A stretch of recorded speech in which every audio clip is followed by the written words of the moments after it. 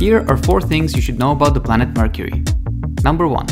Mercury is the closest planet to the Sun at an average distance of 60 million kilometers, which is 39% of the average distance from the Earth to the Sun. Because it's so close to the Sun, one year on Mercury takes only about 88 Earth days.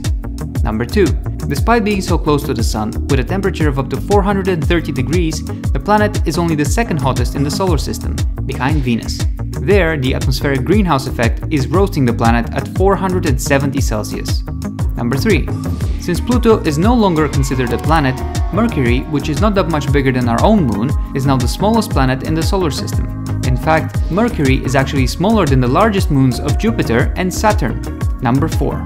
Mercury's gravity, being only 38% of that on Earth, is too weak to hold on to any significant atmosphere from being blown away by the solar winds. Like and subscribe for more.